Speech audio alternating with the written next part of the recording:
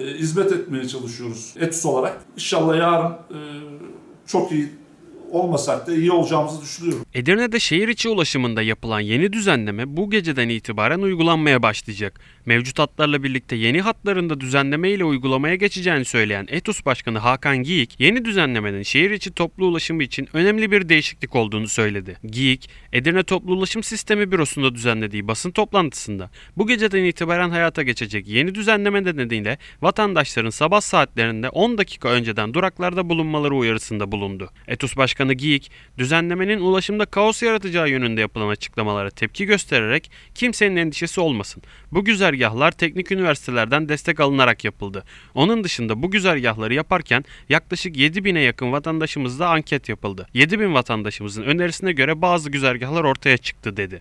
Şimdi burada e, bazı vatandaşlarımızdan şöyle talepler geliyor.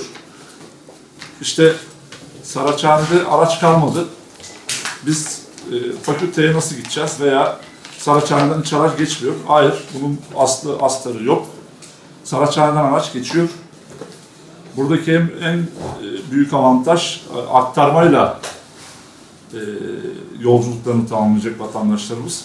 Saraçhane'den geçen herhangi bir araca bin- bindiklerinde bankalarda veya orada evinde indikleri andan itibaren hangi araca binerseler binsinler ilk okuttukları kartın e, ücretini araç aldıktan sonra ikinciye bindik, bindiği araçta kartı sıfır çekecektir. İkinci araçta da mutlaka kartını okutmak zorunda. Ama ikinci araçta 45 dakika dolmadığı sürece ücretsiz seyahat edeceklerdir. Buradan e, özellikle bunu bilmelerini istiyorum. Mesela Dilaver Bey Mahallesi, Kaleiçi dediğimiz semte. Orada da fakülteye ve otogara giden aracımız şöyle yok.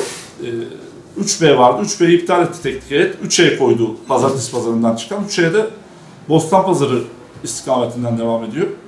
O yüzden e, Dilaver Bey Mahallesi'ndeki vatandaşlarımız 2A veya 2B'ye binecekler.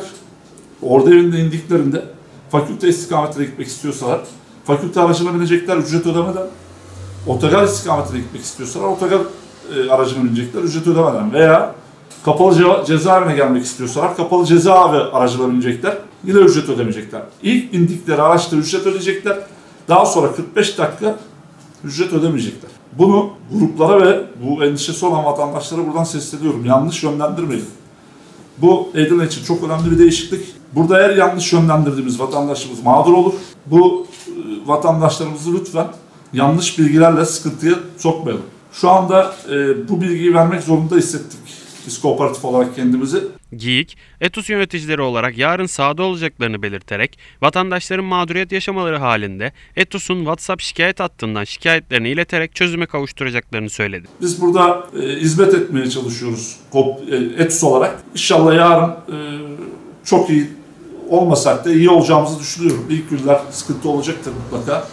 Ama bir iki gün içinde oturacağını da düşünüyoruz. Biz e, yarın yönetim ve denetim olarak yollardayız. Tüm araçlarımız yollarda. Ve e, ETUS WhatsApp hattını biz yöneticiler yarın kullanacağız. Onu da buradan hatır- hatırlatmak istiyorum. Eğer vatandaşlarımız sıkıntı yaşarsa e, problem olursa biz e, ek sefer de koy- koyabiliriz. Onda sıkıntı yok. 534 247 10 aramalarını ben buradan istiyorum.